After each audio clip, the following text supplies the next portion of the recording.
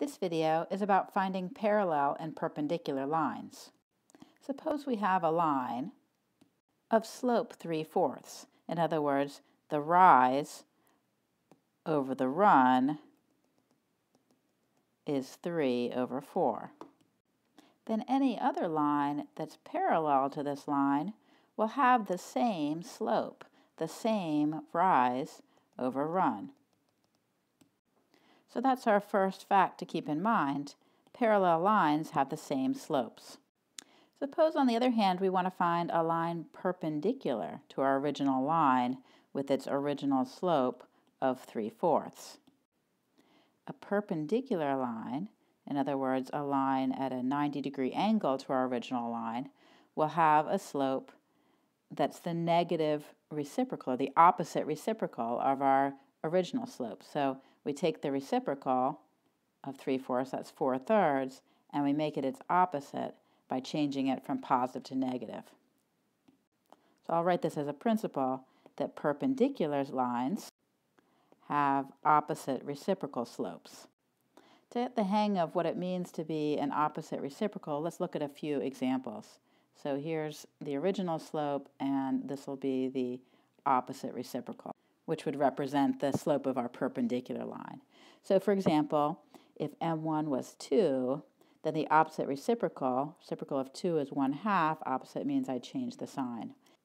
If the first slope turned out to be, say, negative 1 third, the reciprocal of 1 third is 3 over 1, or just 3, and the opposite means I change it from a negative to a positive. So my perpendicular slope would be, would be 3.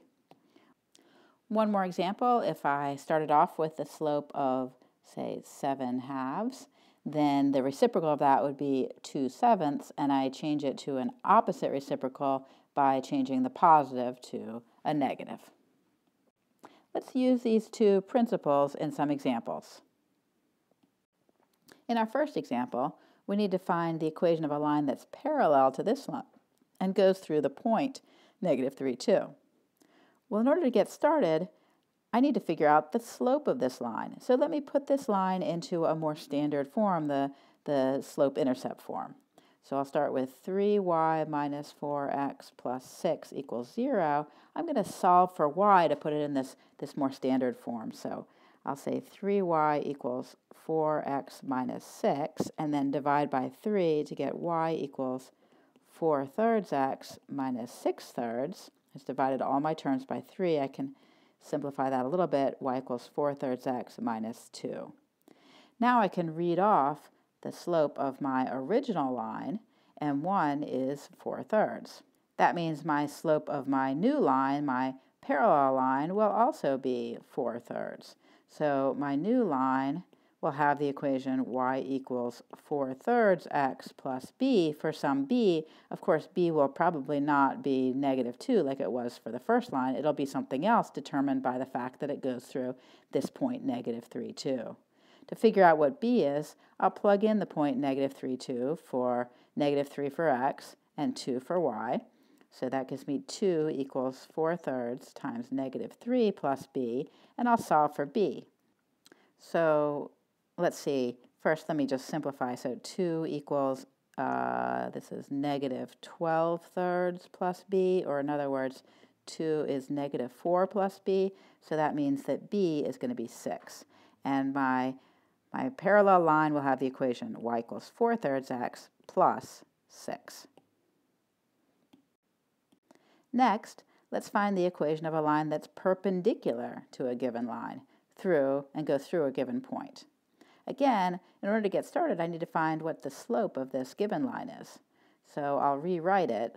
Well, first I'll just copy it over. 6x plus 3y equals 4.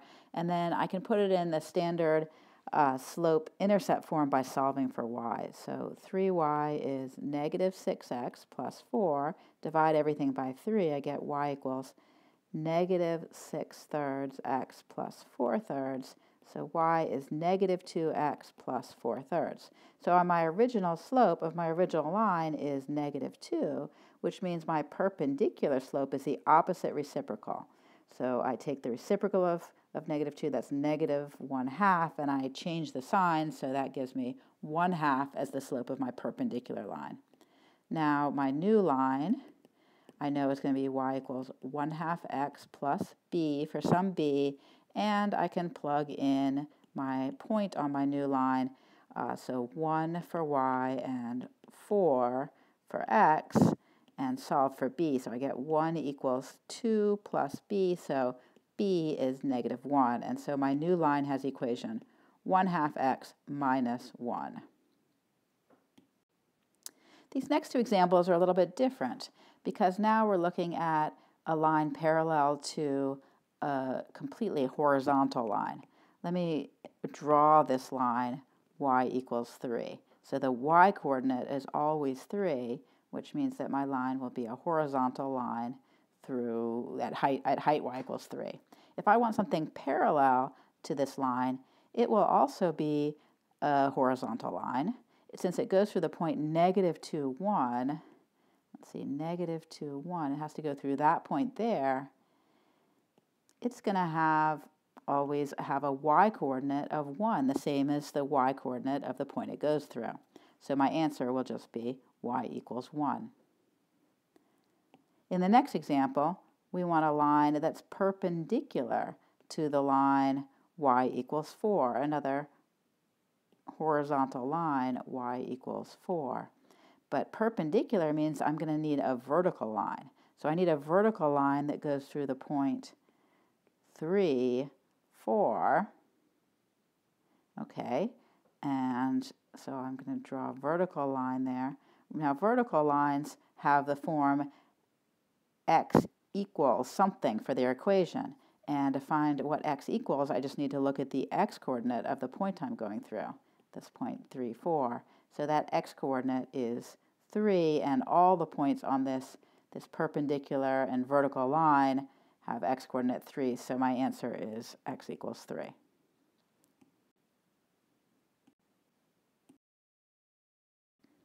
In this video, we use the fact that parallel lines have the same slope and perpendicular lines have opposite reciprocal slopes to find the equations of parallel and perpendicular lines.